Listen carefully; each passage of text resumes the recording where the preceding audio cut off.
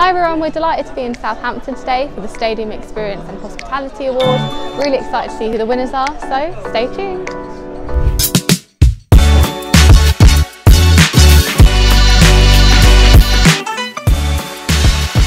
I'm Colette Salmon, Chair of Stadium Experience. Stadium Experience started 2002.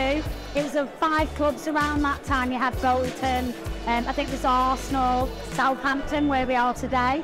Um, and it, it, it was basically, people, they had nobody to talk to in the industry, so we found they were talking about how could we get together and know what everybody's doing and get share best practice and share ideas and support each other in the industry. That's how it came about. So for new for this year, we've got the Mystery Shopper Awards, um, which is for on match day, um, and I think that's going to be quite exciting. Yeah.